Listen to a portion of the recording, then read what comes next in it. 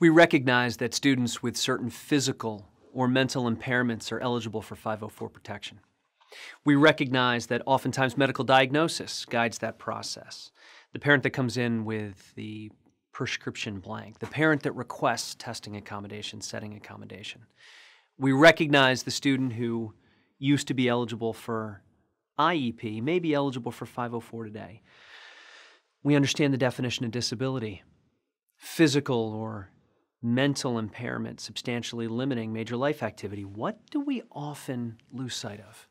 What do we often overlook? Otherwise qualified. No otherwise qualified individual with a disability. I'm John Comegno from the Comegno Law Group. In this segment, we're going to talk about, in this context of otherwise qualified, you will see, you'll hear our university, college. There are cases that come out of professional schools. There are Interestingly, cases that come out of dental schools, several cases that come out of medical school.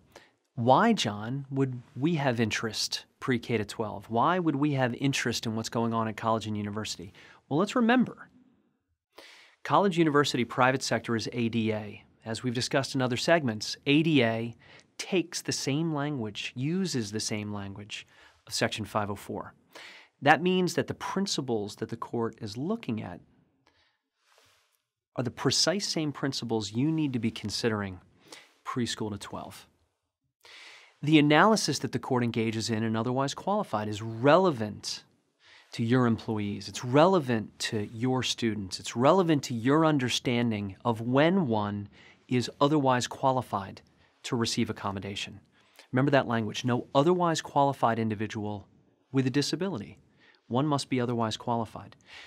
Interestingly, when we look at the landscape of litigation over the last five years, give or take, and you'll see the ages of these cases coming out of federal courts, this issue of otherwise qualified is a hot topic, which is why we talk about it. That's why we have this segment for you. The majority of those cases, although there are several that involve public school students, pre K to 12, the majority of these cases are in the college and university setting, but they're relevant to you because the legal principles are the same terms not so hidden in 504's disability discrimination prohibition, but terms that are often overlooked. In terms which might surprise you, are fought about today.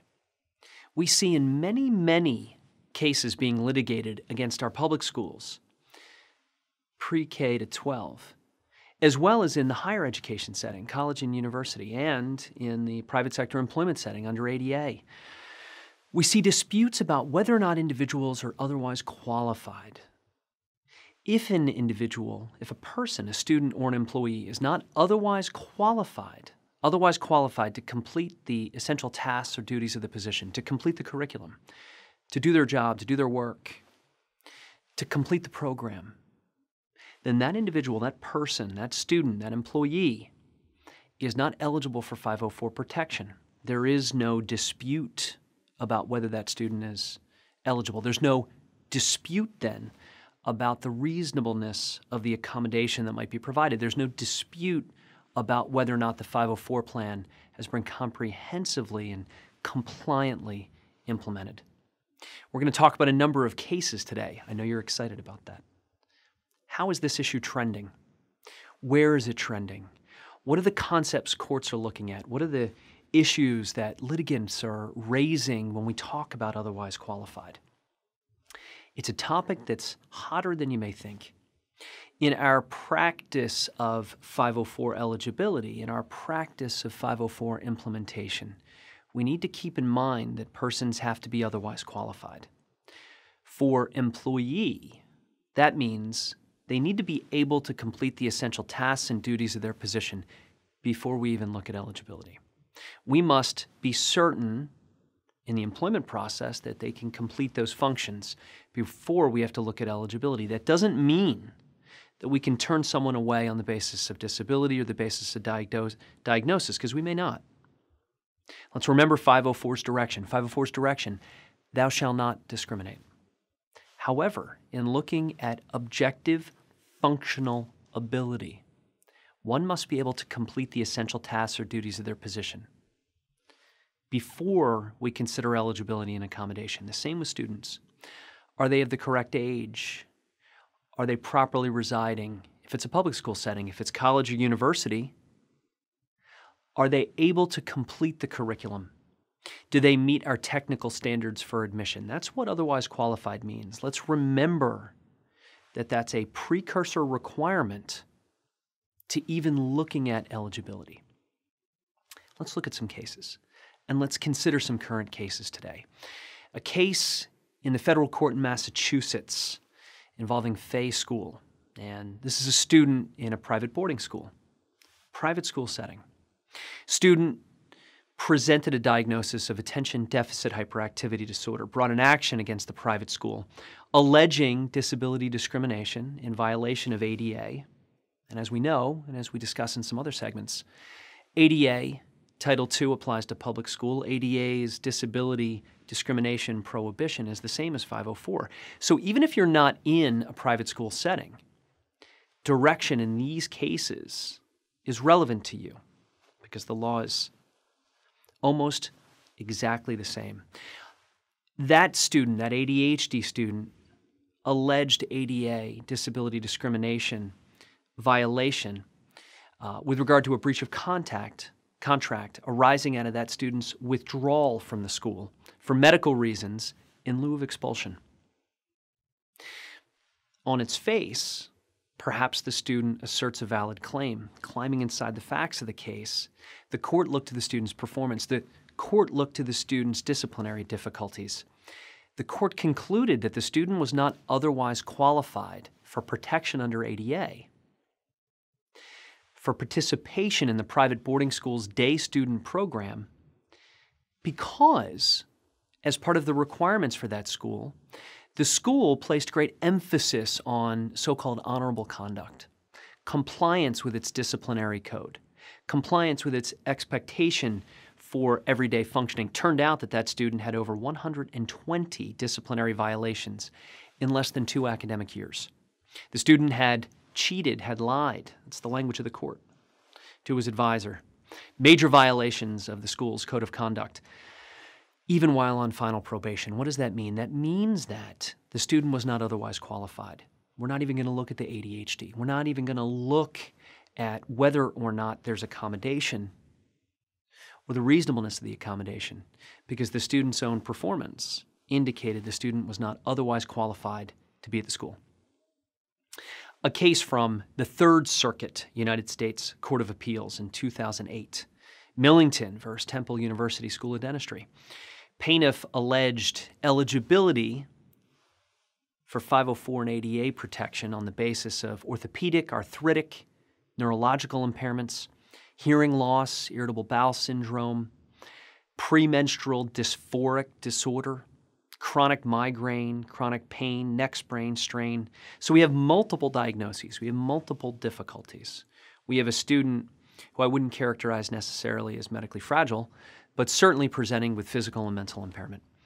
Her allegations were that Temple University failed to provide reasonable accommodation in response to her request, failed to provide appropriate extension of time to complete schoolwork, administer makeup exams, and appropriate settings, didn't allow her to take leaves of absence. She claimed that after certain actions, Temple dismissed her from the program of dental studies, and that that dismissal violated her rights under ADA and 504 because she should have been given leaves. She should have been given other opportunities to complete the program of studies. The court concluded that the student was not otherwise qualified regardless of those multiple, multiple, multiple diagnoses. Her dismissal didn't violate the ADA, didn't violate the Rehabilitation Act because, again, performance. The student struggled academically from the inception of her studies. Even before she had a physical manifestation in school, she slipped on some stairs. Before she requested accommodation, it was fairly clear that she was not able to perform at the level expected.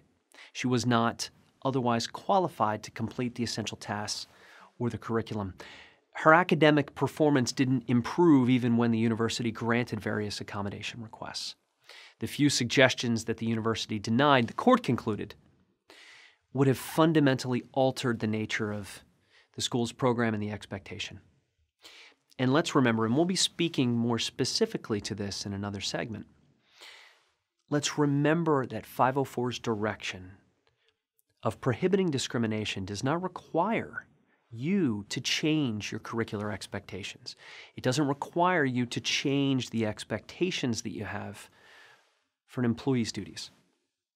What it, what it requires is that you not discriminate as to performance, as to participation by the provision of accommodation. Accommodation is an adjustment. Accommodations adjust duties. They adjust how we complete duties. They adjust how one learns. They adjust how one participates in instruction. Shows mastery of information and testing. Accommodations don't change. Here, the court's concluding that the suggestions, the requested accommodations, weren't accommodations, that they actually were modification requests. You are not expected to modify your standards or your expectations. For students, that's IDEA, that's IEP, isn't it? That's specially designing instruction based on need. We're not expected to do that for students under 504. We're not expected to do that for employees. Again, the court here looked at struggling academic performance over a period of years. Even when accommodations had been provided, the student's academic performance didn't improve. Uh, the university, the court notes, went so far as to even provide a dental assistant in clinical studies. But yet the plaintiff still wasn't able to complete the duties, wasn't able to complete the curriculum, therefore not otherwise qualified. Towson University, Class versus Towson, a case coming out of the Fourth Circuit in 2015, raises the interesting question of whether or not under 504 we should be changing our expectations for medical clearance. Change sounds like modification, doesn't sound like accommodation. I bet you know where the court goes in this case. University football player collapsed on a practice field from heat stroke with liver, liver failure brought an action against the university alleging violation of rights under ADA because the university had required a medical clearance to put that student back on the field. I'm sure you could understand why. We've got a student who experienced a significant medical condition. We've got a concern about that student's safety. We want to make sure that that student's going to be safe. We don't want to put that student back on the field where the student may experience another medical crisis. Collapse again, suffer from even more significant difficulty, obviously there would be exposure there. The simple request is for medical clearance. Very creatively, the, um, the uh, football player alleges, on account of diagnosis, on account of medical status, it would be exclusion, it would be denial of benefit for the university to request the medical clearance. The court said no. The requirement of medical clearance, physical clearance, was an essential eligibility requirement in order to determine whether one was otherwise qualified. Think about it. Is the student otherwise qualified to learn in the classroom? Is the employee otherwise qualified to complete the essential tasks of the employment position? Is the athlete otherwise qualified to physically participate in the sport? An essential inquiry there is whether or not the individual is medically cleared. So the court dismissed the claim. The request, an objective request looking for data for medical clearance in that circumstance, was not discriminatory.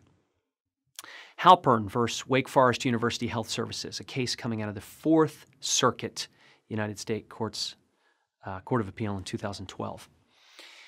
Again, in the higher ed setting here, looking at medical school provision of accommodation, a medical school student is diagnosed with attention deficit disorder, anxiety disorder, multiple mental impairments that might present one for eligibility under 504. Student was dismissed for unprofessional behavior. The student, very importantly, did not disclose the diagnosis or make accommodation requests until after the dismissal. This is not a case where a student applies and is accepted and then in a transparent way, in a pro proactive way, goes to the school and makes requests for accommodation and presents the diagnosis.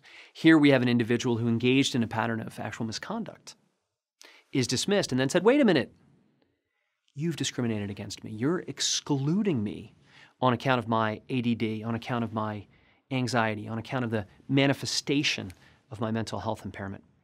Student brought suit, former student then brought suit alleging dismissal was in violation of ADA, the Rehabilitation Act. The court looked at the facts. The court concluded that the student was abusive with staff, misrepresented attendance information, missed class without permission, sought to miss, uh, reschedule exams. The court concluded that with or without accommodation, the student was not otherwise qualified. Professionalism in the context of professional school, medical school, was an essential requirement of the program. The student could not meet that requirement regardless of accommodation. And the court provides some interesting instructive language, which we should consider. A school, quote, if informed that a student has a disability with behavioral manifestations, may be obligated to make accommodation to help the student avoid engaging in misconduct. But the law does not require you, the school, to ignore misconduct that has occurred because the student subsequently asserts it was the result of a disability. Essentially, the Rehabilitation Act and the ADA don't obligate a school to permit a student to continue in an educational program with the hope, the hope that at some unknown time in the future he might be able to satisfy essential requirements. We must be able to complete the essential requirements first. a case out of the Fifth Circuit, 2015, involving the University of Texas Health Science Center, looking at otherwise qualified, uh, again in the context of dental school participation. A dental student commenced an action under the Rehabilitation Act, ADA, alleging failure to provide reasonable accommodation. The court dismissed the, the claim. What are the facts of the case? the student disclosed to the university that he suffered from ADD, attention deficit disorder.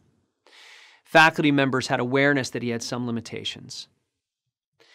But the court concluded that the faculty members' limited awareness of the impact was not sufficient to give rise to obligations under the ADA or the Rehabilitation Act, since the student didn't provide the university with any specific accommodation requests or information beyond a simple diagnosis. As we've discussed in other segments, looking at the criteria, looking at collecting real data, looking at plan implementation. Diagnosis alone does not beget eligibility. In that case, presentation of the diagnosis itself was insufficient, was not enough. The court concluded without additional information, the university did not have obligation to find eligibility and provide accommodation. A case involving Midwestern University, 2016, another professional school case. Plaintiff was a former medical student at Midwestern University. She became depressed, developed generalized anxiety disorder. Plaintiff alleged that she requested reasonable accommodation in light of the disabilities, but the defendant denied the request. The court concluded that that individual, again, despite diagnosis, was not otherwise qualified because she was failing multiple classes other than the one in which she was requesting accommodations. She was not otherwise qualified to complete the curriculum. She was not otherwise qualified to satisfy program obligations and requirements, thus, not protected by 504. A difficult case coming out of the Eastern District of Arkansas in 2014 involving a student, involving a high school student. The state of Barnwell looks at the manifestation of mental health difficulty and the impact of bullying in a high school setting and asks us what responsibilities we have, what responsibilities you have, considering the, the difficult reality today of harassment, intimidation, and bullying, and whether or not, if we choose not to, if we elect not to, if we're not compliant with state requirements for HIB, if we're not progressive in implementing our own HIB rules. Individuals are bullied on account of disability. Whether or not we may be exposed, you may be exposed under 504 and ADA. Here we have a high school student who had Asperger's syndrome and unfortunately, sadly, took his own life, committed suicide following alleged bullying. The family, the estate, brought claims against the school district alleging a number of things alleging civil rights violations, alleging student on student sexual harassment, But beyond that, and for our purposes here today, alleged discrimination under 504. Because we have a disability which might have been the subject, might have been a distinguishing characteristic,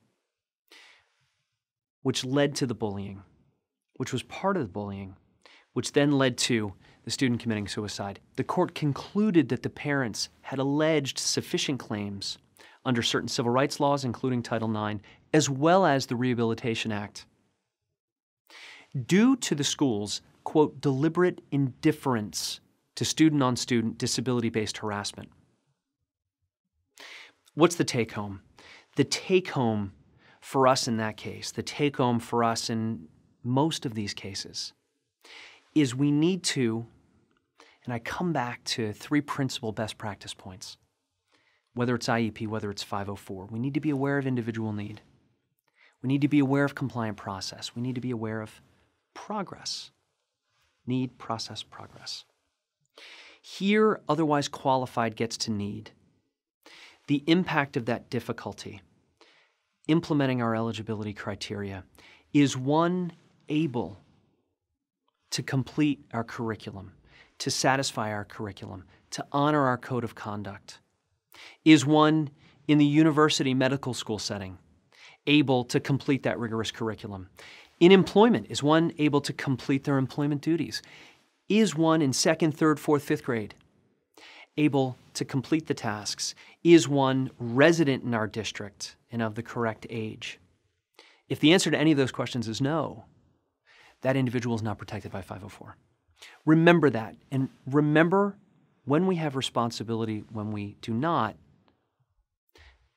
before hopefully avoiding litigation, but also within litigation. Let's remember that otherwise qualified means something. It's a substantive element to the criteria in determining for whom we consider accommodation and who we do not. Again, I'm John Comegno from the Comegno Law Group. Thank you. Be careful out there.